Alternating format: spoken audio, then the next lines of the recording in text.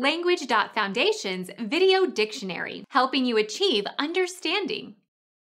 Pioneer of non-Euclidean geometry, 1826 to 1866. Bernhard Riemann, Georg Friedrich Bernhard Riemann. Become our student and get access to effective and free educational materials. Subscribe to our channel to become a part of our growing community and to learn English effectively.